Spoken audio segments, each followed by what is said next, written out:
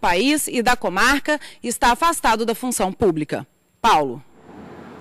O Tribunal Regional Federal da Primeira Região suspendeu retirada de mais de 7 mil famílias de não indígenas de terras no Mato Grosso até a resolução definitiva do caso. A desocupação estava prevista para o dia 1 de outubro o Ministério Público Federal ajuizou uma ação civil pública contra os atuais ocupantes não índios da área da fazenda Suiamiçu, situada nos municípios de São Félix do Araguaia e de Alto Boa Vista, no estado de Mato Grosso.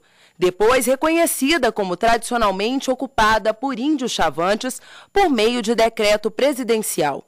Na ação, o MPF requereu, entre outros pedidos, que todos aqueles incertos, desconhecidos e terceiros não índios saiam da terra indígena. O pedido do MPF foi atendido em primeira instância, que reconheceu a terra como sendo propriedade dos índios e determinou a retirada das 7 mil pessoas que atualmente ocupam o local. Essas pessoas recorreram ao Tribunal Regional Federal da Primeira Região.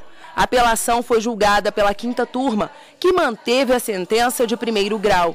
A partir daí, foi ajuizada uma medida cautelar com o objetivo de atribuir efeito suspensivo aos recursos especial e extraordinário interpostos contra a decisão da quinta turma. Os próprios chavantes dizem que a terra não é deles. E inclusive, com recurso extraordinário nos autos, justamente para derrubar a decisão. E trouxe esse mapa, que é uma prova indiscutível, indubitável, de que houve uma falsa, uma farsa arquitetada pela FUNAI em colúio com o INCRA, para deslocar a área por, um, por, um, por uma conveniência inaceitável. O vice-presidente do Tribunal Regional Federal da Primeira Região, Daniel Paz Ribeiro, determinou a suspensão de todos os atos pertinentes à imediata desocupação da terra indígena.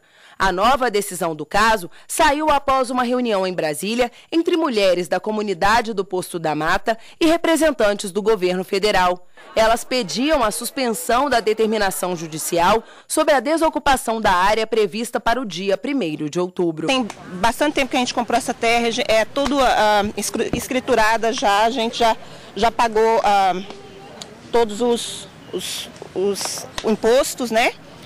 Então são 96 hectares. Ao analisar os autos, o magistrado verificou que diversos índios protocolaram recurso extraordinário, afirmando que os direitos deles não estão sendo respeitados, uma vez que a área em questão não atende os interesses indígenas, pois é área de mata e não de cerrado. Essa região onde nós estamos, na verdade, é uma região de mata e índios chavantes não são de mata. Lá não tinha índio. Depois que se fez toda assim uma manobra pela FUNAI para poder compensar os índios que no passado foram tirados de outra localidade, não é a área que eles pertenciam, aí eles querem dar essa área que nós já estávamos lá dentro. E você vai ver logo depois